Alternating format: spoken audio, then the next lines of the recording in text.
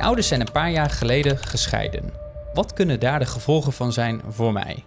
Op het moment dat er een scheiding heeft plaatsgevonden en mensen komen bij mij met mentale problematiek, dan is dat vaak wel iets wat aan bod komt en waar soms zelf wel een hele grote angel in zit. Voor een kind, wie is de steun en toeverlaat? Dat is papa of mama. Papa en mama.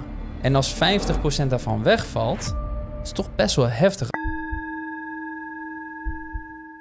Welkom bij de Mentale Spreekkamer. Dit is de podcast waarin we jou meenemen achter de spreekkamerdeur en jou voorzien van waardevolle informatie en tips. Mijn naam is Chris, mind-body arts en naast me zit Aisha, neurowetenschapper en neuropsycholoog. En deze week hebben we weer een vraag binnengekregen die luidt als volgt. Mijn ouders zijn een paar jaar geleden gescheiden. Wat kunnen daar de gevolgen van zijn voor mij? Dat is een eh, mooie vraag. Ik denk dat diegene vast wel wat gevolgen ervan heeft ondervonden. Anders stel je die vraag niet, denk ik. Mhm. Nou, ik ben benieuwd. Wat, wat is jouw ervaring met scheidingen in de praktijk? Kom je dat vaak voor bij mensen? Ja, ik denk het wel. Ik denk eh, wel, wel- zeker wel regelmatig. Ik denk, eh, wat zou het scheidingspercentage in Nederland zijn? 40, 50 procent van de huwelijken die eindigt in scheiding. Ja, volgens mij 40 inderdaad, ja. En eh, ik denk dat dat ook representatief is voor de mensen die ik zie. Ik denk zeker niet iedereen heeft gescheiden ouders, maar misschien wel de helft inderdaad. En op het moment dat er een scheiding heeft plaatsgevonden en mensen komen bij mij met mentale problematiek, dan is dat vaak wel iets wat aan bod komt en waar soms zelf wel een hele grote angel in zit. Ja, ja want inderdaad, een scheiding is eigenlijk. We leven natuurlijk in een vrije maatschappij nu. Vroeger was scheiden een beetje, ik heb het idee, een no-go. Althans, dat, dat vooral op cultureel vlak. Dat bepaalde culturen dat je daar echt niet kunt scheiden. Ja, en het is natuurlijk ook eh, voor de emancipatie van de vrouwen. Ja, Dus, eh, nou, ik denk in de jaren 50 of in de jaren 60. Nou, als je dan eh, ging scheiden, de, de, de moeder die zorgde voor de kinderen en de vader die werkte. Die zorgde voor brood op de plank. En je had dan één salaris waarmee een heel gezin kon onderhouden. Nou, Ja. als je als vrouw ging scheiden, dan nam je wel op de koop toe dat je dan heel veel financieel tegenspoed zal ervaren. Ja, En ja, dus dan kon het ook denk ik makkelijker een keuze zijn, los van het taboe, wat er zeker ook heerste. Eh, gewoon de financiële gevolgen en het opgeven van stabiliteit. ja. Er zijn zelfs culturen inderdaad dat als je scheidt als vrouw, is totaal niet geëmancipeerd, dat de vrouw dan wordt gezien als, als, als, als minder waardig. Dat Ja. die vrouw dan ook een lagere kans heeft om een nieuwe partner te vinden, omdat mensen dan gaan denken van, hé, hey, maar zij is gescheiden, er is iets mis met haar. Maar laten we eerlijk zijn. Er is iets mis de- met hun relatie. Precies. of En, met de man, hè? eh, of met de man. Maar ik, ik denk, als we een schatting zouden moeten maken, wie het, het, het, het probleem ligt altijd bij de communicatie zo'n beetje. En de omgangsvormen met elkaar. En, en, en het aandeel is denk ik, ja, volgens mij is het echt 50-50. Het is, heb, heb jij het idee dat mannen vaker het probleem zijn dan de vrouw? Of andersom? Eventjes een hele losse discussie. Eh, kan ik eigenlijk geen uitspraak over doen. Nee, ik, ik denk dat het altijd een aandeel is. Maar ik denk wel dat de oorzaak van het probleem, dat dat een beetje misschien, dat daar wel geslachtsverschil in zit. Hè, maar ik denk uiteindelijk eh, eh, ligt het probleem bij allebei. En, en misschien in de communicatie, ik denk dat ze, ja, ik denk allebei eigenlijk. Ja. Wat ik altijd zo bijzonder vind bij scheidingen, is dat altijd ene persoon de andere schuld geeft. Het is volgens mij nooit, ik heb het nog nooit gehoord in mijn hele leven, in de spreekkamer dan, misschien dat ik eh, daar te weinig ervaring voor heb. Ik heb nog nooit gehoord dat mensen zeiden van, hé, hey, we zijn gescheiden omdat ik een beetje giftig ben in omgang. Heb ik nog nooit gehoord. Nee, Heb jij dat wel eens gehoord? Dat iemand zelf toegeeft van, ja, weet je, maar ik ben ook heel lastig. Ik, nee, ik- nee, dat is echt de uitzondering inderdaad. Hè? Dus dan, ik, ik- heb wel eens heel zelden gehoord dat mensen dachten van... hé, hey, ehm, ik, ik kan geen relaties aangaan. Er is iets Ja. mis met mij en eh, ik verpest alles. Dus meer in die trant. Maar dat is echt, echt de uitzonderingsgevallen.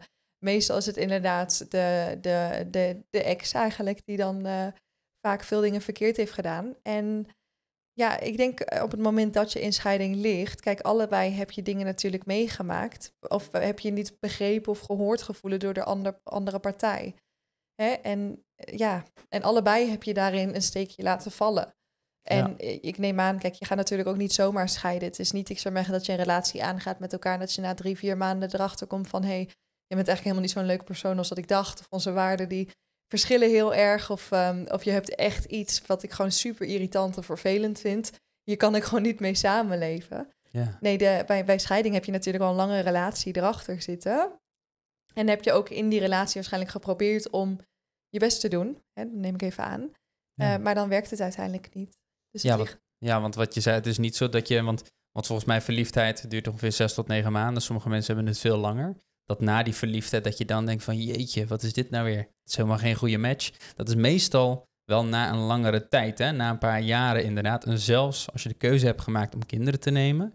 dan kan ik me voorstellen dat voor een merendeel geldt dat je elkaar al een paar jaar kent. ja, Dat er dan alsnog inderdaad bepaalde situaties, hordes opkomen... waardoor de frictie ontstaat. En dan is inderdaad de kracht van... Hey, hoe kan je communiceren en hoe kan je ook eh, er zijn voor elkaar natuurlijk. Want eindstand in een, in een relatie, het zijn twee personen die hebben hun eigen, die hebben natuurlijk hun eigen bagage. En hoe kan de tegenpartij, om het even zo te noemen, een heel, heel, heel, heel juridisch te noemen, hoe kan de tegenpartij daar rekening mee houden met jouw bagage en vice versa? ja, En ja, dat is communicatie dan, denk ik toch? ja, precies. En ook wat je zei, hè, er zitten verschillende stadia in. En eh, ik heb wel eens gelezen, ik weet niet of het 100% eh, wetenschappelijk onderzocht is, maar dat er dan bepaalde fases zijn van een relatie waarom mensen uit elkaar gaan.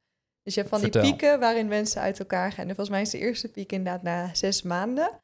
Dat is als de eerste verliefdheid voorbij gaat, dat je die roze bril afzet. En dat je denkt van, oh, maar je bent ook best wel lui of best wel irritant of best wel druk. Ja.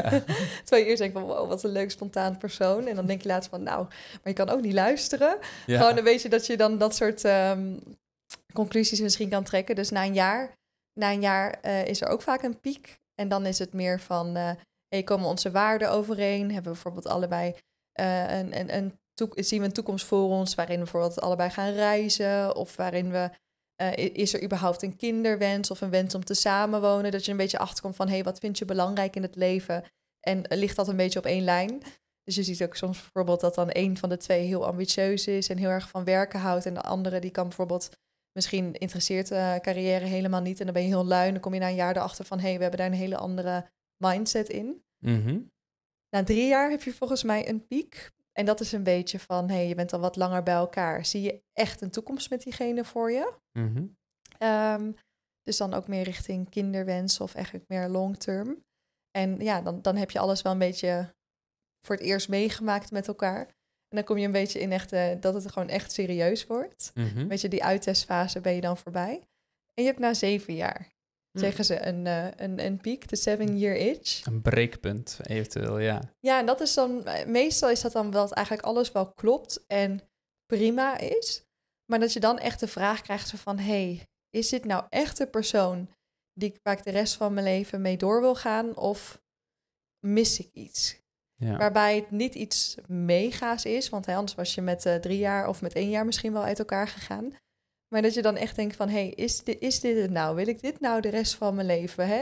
Je hebt elkaars tekortkomingen al redelijk geaccepteerd en je hebt er al redelijk bij neergelegd. En je denkt van, nou, ben ik hier tevreden mee? ja. Is het genoeg? Is het die voldoende waarvan ik denk van, hé, hey, het is een zeven, maar wil ik nou echt gaan aimen voor die acht of die negen? Ja. Of is die zeven, moet ik daar gewoon genoeg van mee nemen en is dit gewoon prima zo? Als je alleen al dit zegt, dan, dan kun je toch... Het, het is toch zo lastig om een goede partner te vinden. Het klinkt een beetje gek, hoor, maar de perfecte partner bestaat niet. Die creëer je eigenlijk. Dus, dus dat is toch wel bijzonder hoe je dat beschrijft. En ja, zeven jaar, de- je maakt zoveel dingen mee. Je hebt andere banen, je hebt misschien andere hobby's. Je, hebt, je, je moet daar toch een soort van mooie brug tussen zien te vinden. Maar als de ene partij iets meer uitrekt, dan gaat die brug op spanning staan. Dan kan die breken en dan heb je inderdaad een scheiding. Maar goed, een paar tips. Praat met elkaar, probeer elkaar te begrijpen en probeer in elkaar te verplaatsen. En dan kom je in ieder geval in relaties een heel eind. Ja. Want een relatie is nooit, zeg maar, eh, plug and play. Om het even zo te noemen. Een relatie, die moet je creëren naar plug and play. Dus het is een puzzelstukje die sowieso niet... Je, ik geloof niet dat er iemand op aarde bestaat die perfect op jouw puzzel aansluit. Maar Mhm. die puzzel creëer je. Die trek je naar elkaar toe, een beetje wringen, een beetje, beetje buigen. En dan op een duur heb je een puzzelstuk waarmee je dus inderdaad een langdurig gelukkige relatie mee kunt hebben. Maar goed, deze podcast gaat helemaal niet over relatieadvies. En, eh, het gaat over scheiding. ja, het is helemaal uit de hand het- gelopen. Ja, dus Maar- het is de drie jaar itch, de zeven jaar itch en in de tussentijd mogelijk kinderen gekregen, zoals bij onze cliënt. Precies. En dan zijn we inderdaad eh, eigenlijk aangekomen bij de vraag: wat zijn de gevolgen voor de kinderen van scheiding? Ja, aan zich, kijk, een scheiding is een, een groot event. Het is ook een, eh, een adverse childhood event, waarbij hoe meer je daar hebt, eigenlijk hoe groter de kans op langdurige mentale en lichamelijke problematiek. Een ACE, hè? Ja. Ah, ja. AC. En dat ja, dat schrijf je inderdaad zo. En ehm, in die zin, het is gewoon een groot event. Dat kunnen we. eh, maar de, de, de, de hoedanigheid of de heftigheid daarvan, daar zijn natuurlijk allemaal nuances in aan te brengen en corrigerende factoren en beschermende factoren. Maar over het algemeen is een scheiding gewoon hartstikke intens. Want kijk, als kind, je komt op de planeet en je ouders zijn je ouders. Misschien heb je nog broertjes en zusjes en je kerngezin. Dat is gewoon jouw, eh, wa- wa- wat je bekend bent. Dat is jouw veiligheid, dat is jouw stabiliteit. En daaromheen heb je natuurlijk wel vriendjes en je hebt school en sporten eventueel. Maar de kern ligt echt in dat kerngezin. Ja. En op het moment dat er dan een scheiding plaatsvindt, dan vindt eigenlijk op zo'n bazaal niveau een splitsing, eh, eh, een splitsing eh, plaats, dat dat gewoon heel veel impact kan hebben. Want en je kan gaan twijfelen over, eh, hè, en op emotioneel vlak, maar ook natuurlijk op praktisch vlak. Ja. Hè, je weet niet eigenlijk wat er gaat gebeuren. En voor een kind is dat wel een van, gewoon echt een hele grote scheur. Ja. Want je, hè, misschien gaat je vader ergens anders wonen, zie je je vader minder, of je moeder gaat ergens anders wonen, gebeurt veel minder vaak, maar toch. Ehm, en misschien dat er veel eh, spanning en ruzie is rondom de scheiding. Hè, misschien dat eh, ook de dynamiek met je ouders eh, verandert. Je ouders hebben misschien ook al problematiek rondom die scheiding, mentaal, of gewoon dat er heel veel stress is. En die hebben misschien ook minder tijd of minder ruimte voor jou. Dus het is ook, voor de kinderen is het heel zwaar, maar voor de ouders is het natuurlijk ook heel zwaar. Dus daarin zijn er eigenlijk zoveel. Nou ja, ik, zie, ik zie, me, zie me nu voor me dat je dan allemaal poppetjes hebt en dan van die pijltjes. En die kunnen dan eh, één kant op gaan, maar ook beide kanten op gaan. Maar in dat hele systeem kan je zoveel pijltjes trekken, alle kanten op, waar, hoe dat invloed op elkaar kan hebben. Ja. En op de relatie. Dus dat is gewoon ontzettend complex en ingewikkeld. ja, en ook voor ons brein natuurlijk. Want alle klachten komen, komen meestal uit het brein natuurlijk. Maar ook als je kijkt naar het brein, het brein wil eigenlijk een veilige haven. Ons brein is zo gecreëerd, het marineert in een bepaalde setting waarin jij leeft. Dus als je een eh, rustige thuissituatie hebt, dan is dat de standaard. Heb je een turbulente thuissituatie, is dat de standaard. En dat neem je eigenlijk voor de rest van je leven mee. Maar ik kan me voorstellen, als jij gewoon een rustige thuishaven hebt en ineens on- ontspringt er zo'n, zo'n, zo'n, ja, hoe zou je het kunnen noemen, een funderingspaal uit jouw Ja, fundament, dat dat ook heel verwarrend en traumatiserend voor je brein is. ja, Want, want laten we eerlijk zijn, voor een kind, wie is de steun en toeverlaat? Dat is papa of mama. Papa en mama. ja. Ja. En als 50% daarvan wegvalt, is het toch best wel heftig als je erover nadenkt. Dat kind heeft al jarenlang, was dat de, de, de, de, de, de veilige basis, de boei, redding, eh, reddingsboei. En ineens verdwijnt die. ja. Dus ik kan me heel goed voorstellen dat dat heel heftig is. En hoe merk je dat in de praktijk? Want ja, jij ziet, jij ziet geen kinderen, je ziet volwassenen. Mer- Merk je dat, dat zeg maar, kan je daar een schatting van maken? Dat hoeveel mensen of hoeveel kinderen krijgen nou eigenlijk langdurige klachten na een scheiding? Is dat iedereen of is dat een deel? Eh, dat is zeker niet iedereen. Eh, in dat opzicht, kijk, ehm, een scheiding is natuurlijk een heel heftig event, maar het gaat er natuurlijk ook om wat er voor die scheiding heeft plaatsgevonden. Je voor, jouw ouders zijn zo ongelukkig met elkaar dat, zij daar, dat er daardoor juist heel veel spanning in huis is en heel veel ruzies in huis zijn en dat er hè, geen communicatie met je ouders nodig en mogelijk is, omdat zij eigenlijk ja, zo'n hekel aan elkaar hebben. Want als er zoveel ruzie of zoveel conflict is, dan is dat natuurlijk ook een ongezonde situatie voor een kind. Dus in sommige gevallen kan het ook zijn als het heel ongezond is, als je ouders bij elkaar zijn, dat je er juist op vooruit gaat ehm, op het moment dat er een scheiding plaatsvindt. Dus het kan positief zijn voor de kinderen. Het kan positief inderdaad zijn. Op het, ja, en dat, dat je ouders eigenlijk gewoon, als je ouders heel erg ongelukkig van elkaar worden. En dat jij dus gemarineerd bent in dat ongeluk van je ouders. En dat dat weer zijn invloed heeft op jou als kind. Dan Mhm. kan een scheiding soms ook positief zijn. Maar dan vaak heb je in het begin dat het gewoon nog slechter gaat. Sorry dat ik je stoor. Uit onze statistieken blijkt namelijk dat 80% van al onze luisteraars nog niet geabonneerd is. Terwijl dit gratis is en ons enorm helpt. Dus mocht je deze podcast interessant vinden en willen ondersteunen, pauzeer dan deze podcast, abonneer je op ons kanaal en laat een duimpje of sterren achter. Dit motiveert ons om door te gaan en zorgt ervoor dat we elke week op zondag om 12 uur een nieuwe aflevering kunnen opnemen. We gaan weer verder met de podcast. Eh, maar als je het dan wat meer op de middellange termijn uitzoomt, eh, dat je er uiteindelijk op vooruit gaat. Omdat je hoopt dan natuurlijk dat als je ouders uit elkaar gaan, dat ze daarna of een leuke nieuwe partner vinden. Ja. Of dat ze gewoon gelukkiger zijn en dat ze meer tijd, energie en aandacht aan jou kunnen, in jou kunnen steken in jullie band. Maar dat zal denk ik maar een klein deel zijn. Ja, dus soms heb je inderdaad ook dat de mensen die er nou ja, voor de scheiding een potje van maken, dat die daarna ook een potje van maken. Ja. Dus dat, ehm, dat wisselt heel erg. Ja, maar we kunnen wel zeg maar denk ik stellen dat een, een, een aardig ik denk niet de helft, maar misschien een kwart van alle mensen die, lang, die, die zeg maar een scheiding meemaken als kind zijnde, dat die wel langdurige consequenties slash gevolgen daarvan ondervinden. Ja, ik heb volgens mij die statistiek wel eens gelezen. Volgens mij uh, hangt het natuurlijk een beetje vanaf, maar dat een kwart langdurige gevolgen ervaart. En ik denk in de mensen die, bij de mensen die ik zie, ja, dan zou het een kwart tot de helft of zo, zou ik zoiets denken.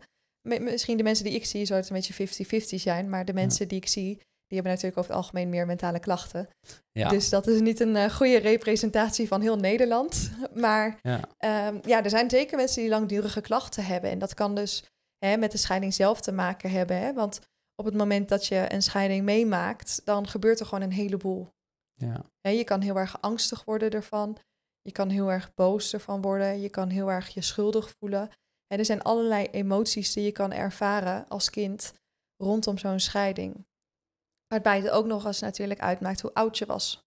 Op het moment dat die scheiding plaatsvond. Hè? Stel je voor dat je twee of drie jaar oud bent. En je hebt net uh, het concept van objectpermanentie geleerd. Dus dat je weet als kind, jij wilt op het belletje drukken, die gaan we de volgende keer echt pakken. Ja, ja, ja. En anders, uh, lieve mensen, stuur even een herinnering in, want uh, moeilijke woorden moet ik goed uitleggen. Ja, ja, ik wilde op het belletje drukken, maar vertel, wat, wat, wat zei je nou net? Object? Nou, objectpermanentie. En mhm. dat is dus het idee hè, van, en dat is vooral in het kader van hechting belangrijk. Kijk, op het moment dat een kind jou ziet, letterlijk ziet, dan weet hij gewoon van, hé, hey, in dit geval kijk nu naar jou, dus papa is in de kamer, dus papa is bij mij, die gaat me niet in de steek laten. En op het moment dat jij nu even denkt van, hé, hey, ik moet naar het toilet gaan en ik je dus niet zie, dan hele jonge kinderen snappen dat dan niet. Die denken gewoon van papa is weg ik, en die kunnen in paniek raken of verdrietig worden of die hè, krijgen de kinderen die gewoon eigenlijk aandacht willen. Ja. Beetje dat idee. Um, maar als je wat ouder wordt en dat concept van objectpermanentie die ontstaat is, dan weet je dus van hé, hey, papa is nu niet in de kamer, maar dat betekent niet dat hij niet terugkomt. Hè? Die is waarschijnlijk gewoon even met zichzelf bezig. Hè? Die moet even naar het toilet of die is even aan het werk. Maar die komt weer terug. Dus dan heb je niet zo die scheur van, um, van, van verlating eigenlijk, verlatingsangst. Dat je gewoon weet van, hé, hey, het komt weer goed. Ik ben een autonoom persoontje. Ja. en ik kan op mezelf bouwen en die komt wel weer terug. Dus dat je daarvan niet helemaal in paniek raakt. Dus als je kijkt naar hele jonge kinderen, je zou dan wel verwachten hè, dat op het moment dat een van de twee ouderfiguren opeens niet meer in huis is, dat dat gewoon heel veel impact heeft. Want dan heb je zoiets van, je kan, dan kan je er nog niet helemaal op vertrouwen dat diegene weer terugkomt. Dus dat kan echt iets doen in hè, je vertrouwen met mensen en ook met relaties later. Dat je gewoon het gevoel hebt van, hé, hey, ik word in de steek gelaten. En het is natuurlijk ook de vraag als je, um, hè, ik kijk even naar de vaders in het algemeen, sorry voor de uitzonderingen.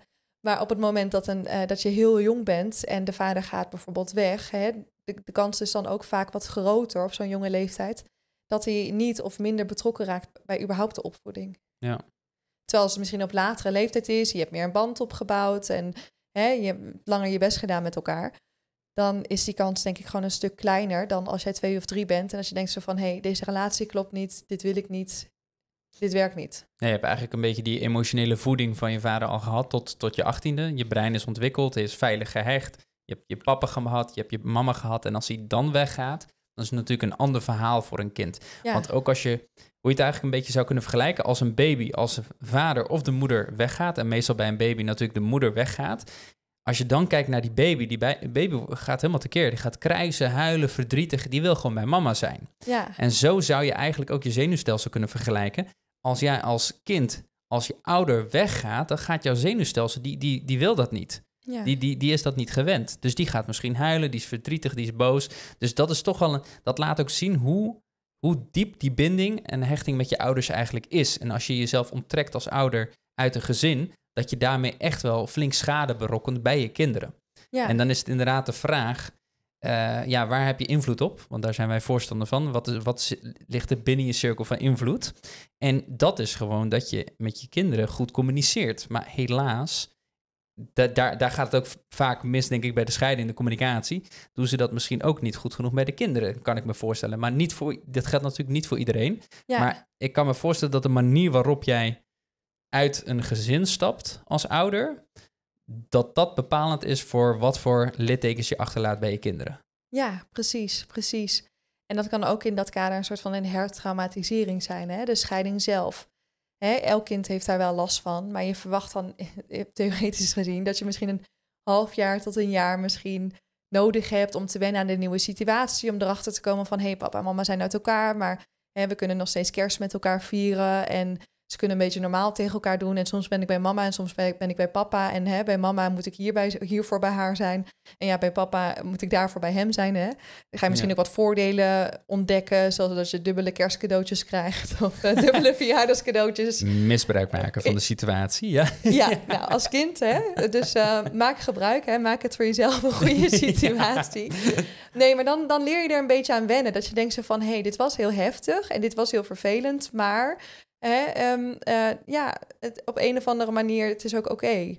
En, ehm, en dat, dat verschilt natuurlijk echt heel erg bij per leeftijdsfase. Hè, want ook wat jij net zei, als je 18 bent en je ouders gaan uit elkaar. Kijk, ik kan me voorstellen, als ik 18 was geweest, als mijn ouders uit elkaar waren gegaan, dan heb je toen eerst iets van, oh, ik vind het zielig voor jou, want dan ben je helemaal alleen. Hè, wij gaan allemaal het huis uit en dan zit je hier in je eentje. Dus dan heb je misschien een, dat je het gewoon heel vervelend vindt dat het niet goed met je ouders gaat. Maar als je als kind hè, als tweejarige dan denk je alleen maar van... hé, hey, ik word in de steek gelaten, wat gebeurt hier, ik snap het niet. Hè, misschien als je iets oudere kinderen... dan kan je ook het gevoel natuurlijk van um, schuld ervaren. Dat komt heel veel voor. Dus ook voor ouders, hè, wees daar alert op. Op het moment dat je dus uit elkaar gaat. Hè, misschien net zo'n kind wel van... trekt de conclusie van... hé, hey, um, ik was zo van het ruzie maken... of ik was zo mijn uh, broertjes of zusjes aan het pesten... En ik heb mijn ouders heel veel stress bezorgd omdat ik een onvoldoende heb gehaald. Of hè, kinderen kunnen gewoon dat soort conclusies trekken. Dat ze denken dat ze een aandeel hebben in de scheiding, omdat ze lastig zijn geweest of dat het te stressvol was of hè, dat ze een aandeel hebben gehad in uh, de scheiding. Ja, die trekken het dus, dus, dus jonge kinderen die trekken het zich eerder op zichzelf eigenlijk. Ja, en dat kan zelfs ook bij tieners hoor. Bij tieners en pubers ook, maar ook vooral bij jonge kinderen. Op het moment dat je ook je nog, nog niet heel goed um, alles over, kan overzien. Hè? Dat je nog niet heel goed kan verplaatsen in de vader en in de moeder. Je hebt als jonger kind waarschijnlijk ook minder informatie of minder begrip van uh, de scheiding en waarom je ouders uit elkaar gaan. Dus mhm. de kans op, denk ik, foutieve conclusies zijn dan, denk ik, een stuk groter dan als je bijvoorbeeld 15, 16 bent en erachter komt van hé, hey, maar jij bent zo en jij bent zo, ja, hè, daarom werkt het niet. Ja, precies, precies. Je mist data inderdaad. Ja, want wat ik mij ook herinner op de basisschool volgens mij, ik had een maatje van mij. En, en die ontspoorde ineens helemaal. Die werd gewoon rebels, die werd agressief, die ging vechten. En ik dacht bij mezelf, hè? Jij bent helemaal niet zo. Maar dat bleek dus nadat zijn ouders gescheiden waren, uh, ontspoorde hij helemaal. Ja. Is dat, is dat, is dat normaal? Nou, ontsporen niet. ja, het is een vrij heftig, maar dat, dat kinderen dan emotioneel eigenlijk heel erg gaan rebelleren op dat moment? Ja, ja dat, kijk, het is in die zin wel heel normaal dat op het moment dat er een scheiding plaatsvindt, zeker denk ik, verwacht ik een beetje bij pubers, hè, omdat die toch wat meer kunnen rebelleren. En uh, als je dan heel veel emoties hebt en als daar geen ruimte of aandacht voor is, dat er ook heel veel boosheid of wrok kan ontstaan. En dat is dan een manier om dat te uiten. En vooral bij jongens kan, uh, kunnen emotionele problematiek kan vaker naar buiten slaan. Dus dat kan je vaker zien in boosheid of in agressie zelfs. Hè, die worden gewoon een beetje boos op de wereld. En bij meiden kan het iets meer naar binnen slaan. Dus die worden wat angstiger of wat somberder of wat depressiever. Ja. Dus daar zit ook een verschil in. Maar kijk, een scheiding, dat is gewoon heel impactvol. En je bent dan ook eigenlijk op het moment dat dat gebeurt, dan ben je eigenlijk ook heel erg benieuwd van, hey, wat maakt dus dat iemand zo boos is? Ja. Hè, en hoe is dat dan gegaan? En hè, dat kan de scheiding aan zich al zijn, maar ook bijvoorbeeld, hè, dus wilt er nog meer mentale problematiek? Hoe is de band met beide ouders? Is er ruimte voor? En ook wordt diegene gerustgesteld.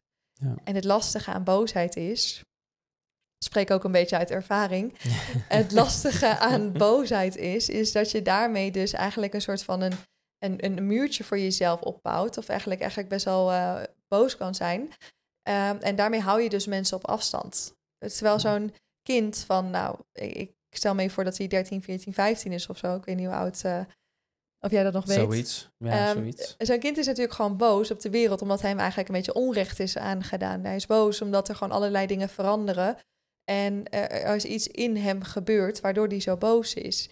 Maar mensen zien alleen de boze buitenkant en dat stoot mensen af. Mensen hebben geen zin in. Iemand die gaat schreeuwen of schelden of schoppen of slaan. Ja, daar heb je gewoon geen zin in. Dus dat stoot af. Terwijl eigenlijk onderliggend um, voelt hij zich misschien gewoon heel erg afgewezen of in de steek gelaten. En dat is eigenlijk, dus hij zoekt eigenlijk naar verbinding. Hij zoekt naar erkenning. Hij zoekt naar goedkeuring of troost. Maar dat kan hij niet. En hij wordt dan boos. En daarmee stoot hij mensen nog meer af, waardoor je denk ik nog bozer wordt, want niemand begrijpt je. Ja, ja of, of, of hij is bang om in de steek gelaten te worden door anderen, waardoor die anderen juist afstoot en mensen niet de kans geeft om dichterbij te komen. Ja, het kan echt een beschermingsmechanisme ook echt zijn. Dat hij denkt van, hé, hey, het is, uh, mijn ouders hebben er al een uh, potje van gemaakt. Of mijn ouders die hebben me aan de steek gelaten. Of een van de ouders. Of, hè. Um, en dat dan vervolgens dat je denkt zo van, hé, hey, als ik die al niet kan vertrouwen. Of als die al niet bij me willen blijven. Uh, waarom zou ik een van jullie dan wel vertrouwen? Ja, dus dan ben je eigenlijk boos op de wereld inderdaad, hè? Ja. Terwijl je eigenlijk boos bent op de beslissing van je ouders. Maar daar heb je geen invloed op. Dus dan maar een beetje rondstoten in de omgeving waar je wel invloed hebt. Ja, ja dat is super interessant inderdaad. En, en wat, je ook, wat wij ook vaak zien bijvoorbeeld in het kerntraject is dat een scheiding klinkt zo van je weet dat je het hebt en het heeft gevolgen, nou zal wel een scheiding zijn. Maar vaak zit dat toch wel dieper dan dat je dacht. Dus meestal, je zoekt pas hulp op als je gevolgen hebt van bepaalde events in je verleden, in je kern. Dan pas zoek je hulp op. En op dat moment ga je zoeken van, hey, wat is de oorzaak? En dan kom je soms inderdaad terug bij de opvoeding. En dat doen we dus onder andere bij Kentiac, bijvoorbeeld bij de levensnetwerkanalyse. Dan ga je dus terug naar wat waren de factoren in jouw verleden, in jouw kern, die meespeelden in jouw leven en een grote rol hadden. En dan zie je toch vaak dat of de vader of de moeder of de broer of de zus of de thuissituatie zo'n ontzettend grote impact heeft dat je dat helemaal niet verwacht. Dus de meeste mensen schrikken ook een beetje van, hey, ik had dit helemaal niet door, maar mijn vader dit dit, of mijn moeder dit dit dit. Dus dat, dat, dat is zo, ook zo, zo interessant aan het kerntraject. Het is eigenlijk een graafproces naar je verleden, naar je kern. En vanuit daar ga je dus kijken van, hé, hey, wat heeft in die kern veroorzaakt dat ik vandaag de dag de volgende klachten heb?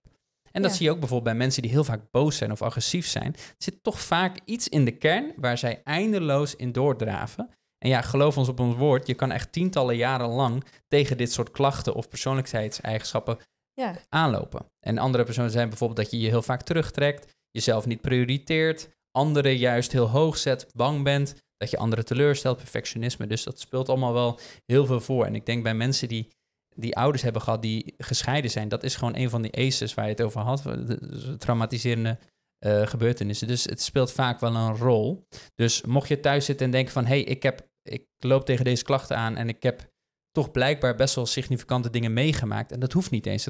Je hoeft niet eens per se iets groots meegemaakt te hebben. En je wilt kerngericht aan de slag, dan is het kerntraject wel interessant. En die kun je vinden op christenijsja.nl slash kerntraject.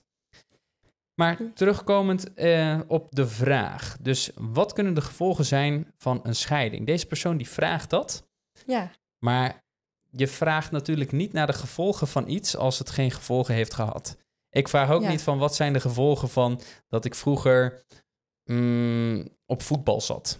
Want ik heb daar geen klachten van. Toch? Dat zou ik, alleen doen als ik bijvoorbeeld heel veel knieklachten heb. En dan denk van, hé, hey, wat zijn de gevolgen van uh, op jonge leeftijd voetballen? Want ik heb knieklachten. Dus ik ben even benieuwd naar deze persoon. Dus wat zouden, uh, wat zouden gevolgen kunnen zijn van scheiding? Als je dat in een notendop zou moeten omschrijven. Ja, ik zit ook even zelf te denken. Want ik heb zelf ook gescheiden ouders. En ik mhm. heb daar ook wel... Uh, gevolgen aan ondervonden. Dus ik hintte net al een beetje van, oh, dat, die boosheid herken ik ook wel. Ja, dus jij bent vaak boos. Uh, nou, ik zou het niet vaak noemen, maar er zit wel een stukje boosheid in me. Waarbij ik wel een idee heb wanneer dat is ontstaan. Ja. En um, ik denk dat de gevolgen, die kunnen gewoon heel erg wijd verspreid zijn.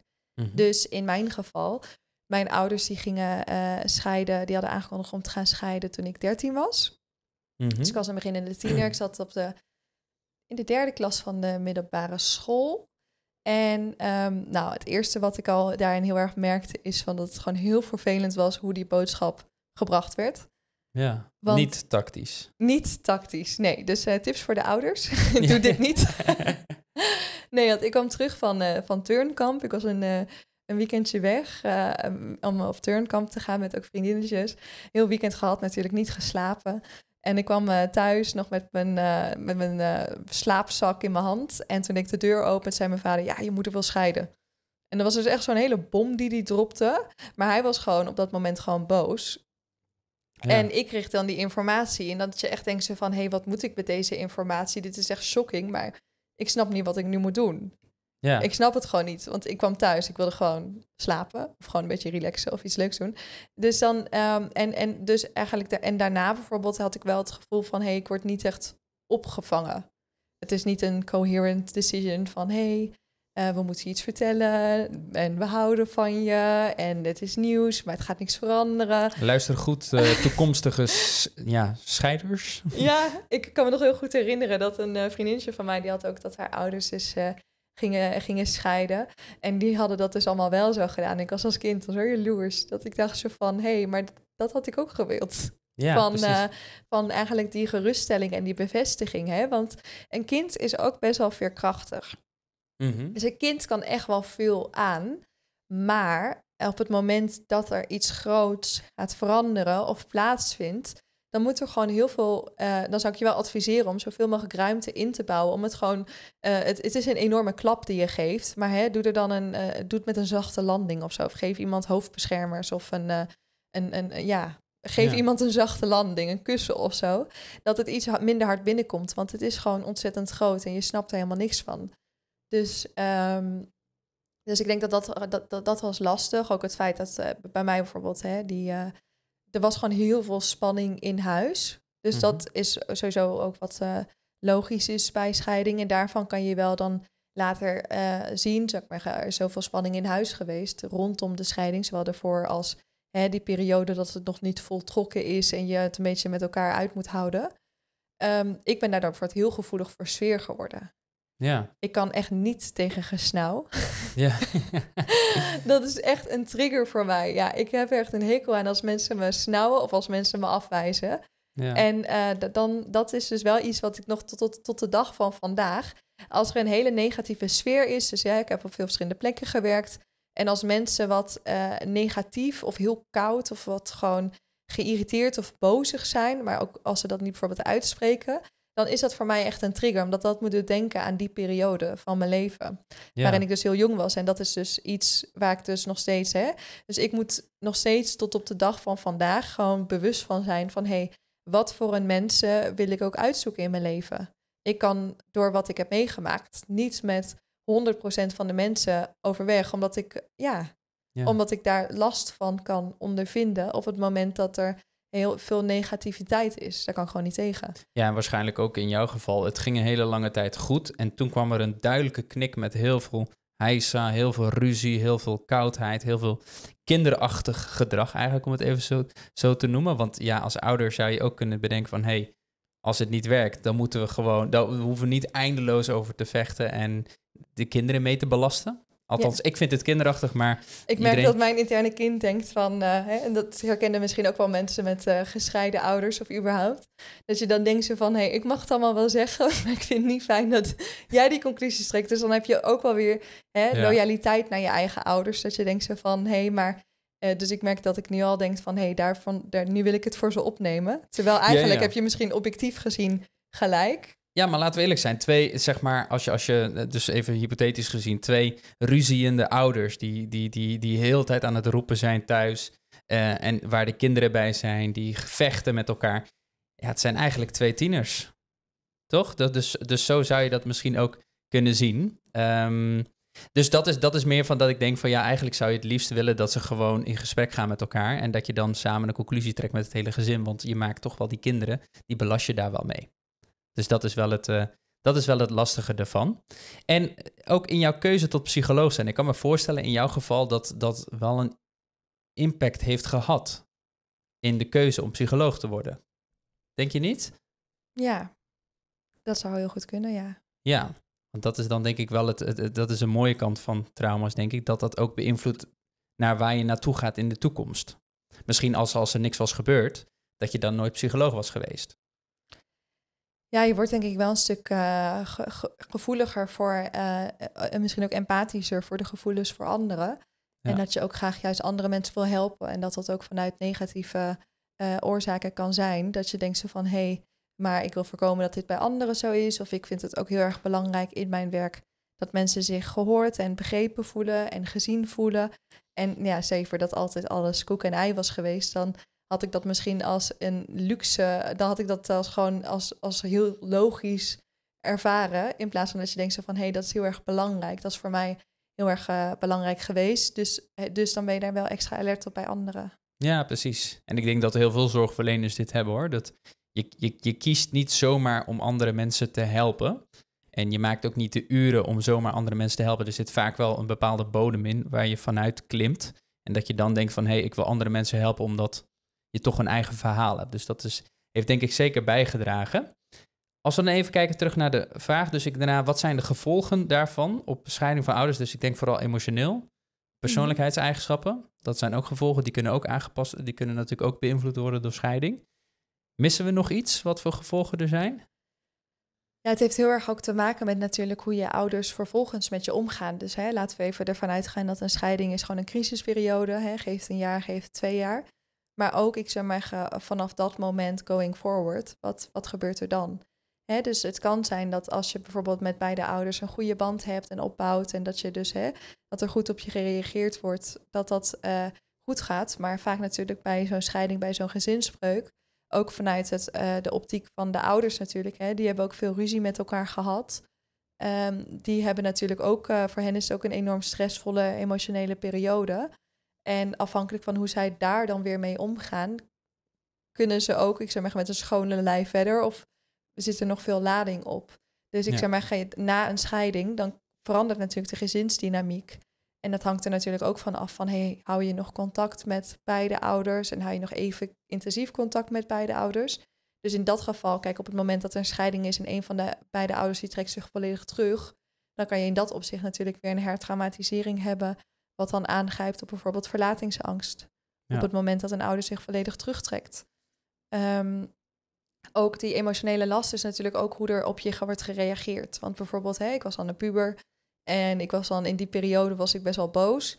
En toen, um, en, en je hebt dan natuurlijk, eigenlijk wil je dan dat mensen dan denken van hé, hey, er is iets met je, dus uh, let's fix it. Of wat is er aan de hand? Um, maar op, je hebt als kind dus wel nodig dat de emoties die je hebt, of dat nou schuldgevoel is, of dat dat boosheid is, of dat het verdriet is, of dat het angst is, dat je daar wat begeleiding bij krijgt. Want prefrontale cortex, dat uh, mooie gebiedje hiervoor op het brein voor de kijker, um, met uh, die, die je kan, gewoon kan helpen bij emotieregulatie en zaken, die, ja, die is gewoon nog niet volledig ontwikkeld. Dus als kind heb je nog niet de copingvaardigheden en de skills. Het is niet dat je vier of vijf scheidingen meemaakt uh, in je jeugd. En dat je dan denkt zo van, hé, hey, nu bij de derde scheiding snap ik eindelijk wat ik moet doen. Ja. dus dat, um, dat merk je dus wel. Dus daarin kan het dus ook heel erg helpen hoe er wordt gereageerd op de emoties van het kind. En dat die er mogen zijn. En dat, die, dat er aandacht aan voor wordt besteed. Ja, en, dus je hebt ook gewoon therapeuten natuurlijk die, die gespecialiseerd zijn in kinderen helpen met gescheiden ouders op dat moment. Ja, zeker. Ik denk bij de kinderpsycholoog dat dat gewoon heel veel voorkomt. Dat, ja. uh, dat de scheiding van ouders, hè, grote verandering, dat dat maakt dat je dus uh, bij een kinderpsycholoog terechtkomt. Ja, dus stuur inderdaad je kind als je gaat scheiden naar een kinderpsycholoog. Als je het idee hebt dat je zelf niet de landing zo zacht mogelijk kunt maken. Ja. Of sowieso. Maar uh, inderdaad, ja, kijk, er is ook eigenlijk niks mis met scheidingen. Uh, soms matcht het gewoon niet, dan klikt het niet en dan is het ook gewoon prima. Maar de manier waarop je dat communiceert en de manier waarop je dat eigenlijk, uh, hoe, je, hoe je dat eigenlijk creëert, zeg maar, die scheiding, dat kan traumatiserend zijn voor je kinderen. En ja. dat, daar heb je zeker invloed op als ouder. Ja, en zelfs als het dus bijvoorbeeld hè, op het moment suprem niet lukt, omdat je zelf heel erg hoog in je emoties zit, of dat je zelf gewoon heel boos bent, of heel verdrietig bent, of je niet gezien of niet gehoord voelt, of wat dan ook. Um, dan heb je dus ook het, de, Hè, op het moment dat het weer wat meer gaat zakken, want hè, je verwacht eigenlijk ook bij de ouders hè, die onderdeel zijn van de scheiding, dat na, in ieder geval na een paar jaar ook zou moeten zakken. Dan kan je ook altijd nog, als het op dat moment niet gelukt is, hè, kom daarop terug. Of als je kind later bij je aanklopt van hey, hoe dit vroeger is gegaan, daar heb ik last van. Of dat heb ik heel vervelend gevonden. Hè, dan kan je ook altijd nog op een later punt in je leven je daarvoor openstellen en dat gesprek met je kind aangaan. Ja. Ja, precies. E- emotionele heling hoeft niet op dat moment te zijn, kan ook veel later. En ja. dat, dat zijn natuurlijk die cliënten die je ziet, die komen op een veel later moment van het trauma. Maar die kunnen dan wel de emoties en de trauma's een plekje geven en emotioneel verwerken. Ja. Dus dat kan je ook met je ouders dan doen. Dus als ouder zou je dat ook op een later moment weer kunnen herstellen. Het is niet een litteken die nooit overgaat.